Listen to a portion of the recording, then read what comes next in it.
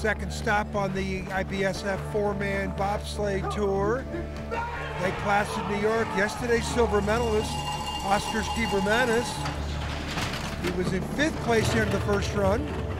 Unfamiliar territory for this young Latvian, but he posts an unbelievable finish time. He puts himself in the leader's box, four to go. Hunter Church of the United States. Yesterday had a start mishap. Ooh, 6 to 11th place he finished. And then on this run, way behind Kibermanis, can't match.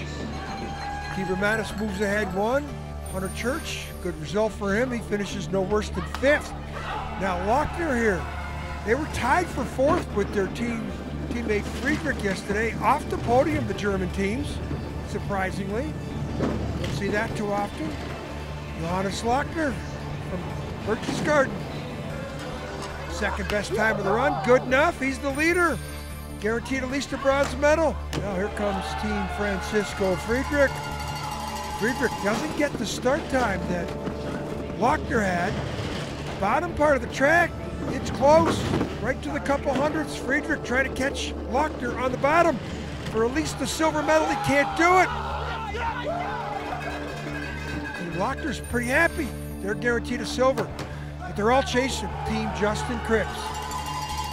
He won the gold here last year, the first Canadian victory on this historic Lake Placid track ever last year. Then he won the four-man yesterday, and on this day, again, nobody can match his speed, his finish times, and he wins the event going away. Justin Kripps wins. Lochner second, Friedrich third.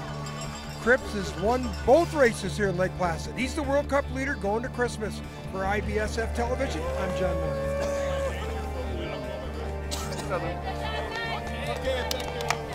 From